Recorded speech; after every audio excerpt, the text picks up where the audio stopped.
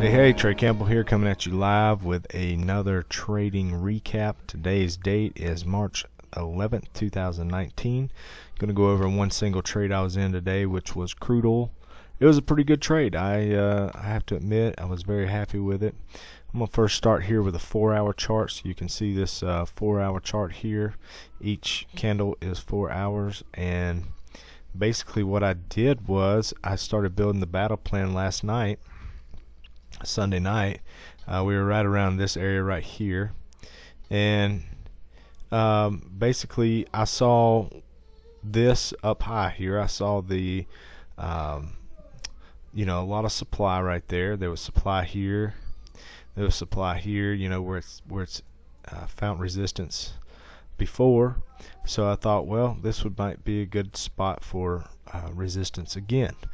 And we also had the top Keltner there uh, also for resistance. So that was my main battle plan with it, and it just so happened to work out picture perfect. We got, uh, uh, let me break down to the one minute chart here so you can see exactly how it went down.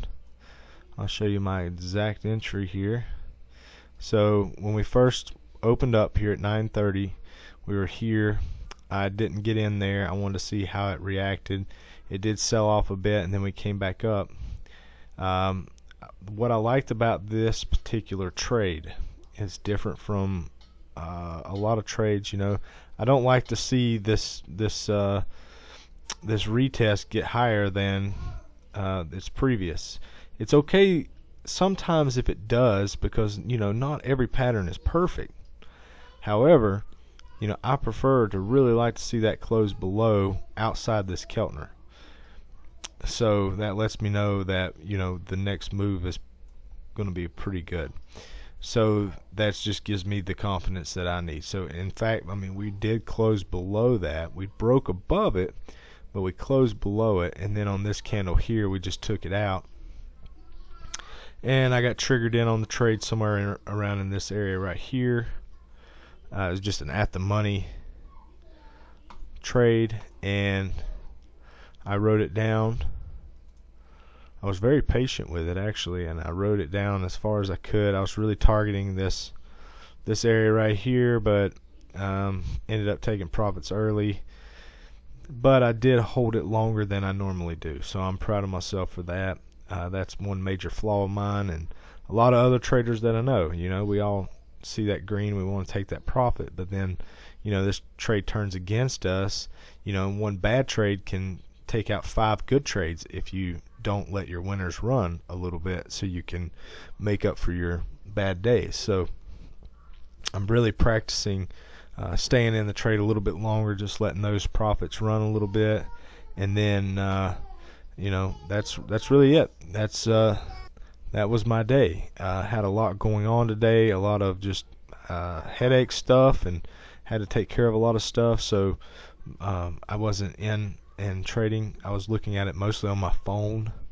After the after the fact, uh, ES I I saw it. It was like a crazy bullish run today. It was insane, and uh, of course my my trade plan saw that coming, and it uh, this thing was absolutely nuts today. Uh, I I watched it. Uh, let me pull the four hour up here. So coming over the weekend, I saw that you know, obviously Friday we had a pretty good sell off, and so the gist was, uh, you know, to be in a buyer's market. Obviously, we were oversold, looking for good buying spots. You know, my my biggest spot on my battle plan was right here, but we just never got the pullback. Uh, we did, however, get some higher low entries that we could have got into, but I just didn't uh, participate. And we also got a uh, higher low uh, support buy there off the plus 0.5. So that was a good buy too. I just didn't get involved with it either. So um, good trades on that. You know, we are over.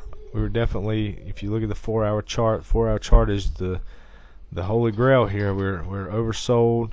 And if you also look right now, if you measure this, I'd say you're pretty close to a 61.8 retracement right there. So, you know, that's that's something too to think about going in tomorrow. But tomorrow should be a good day. You know, whereas of right now we are massively, massively overbought, and you know tomorrow should be a good day to spot some some sell triggers, and we'll see what happens there. So that's all I got. Uh, hope you guys have a good day.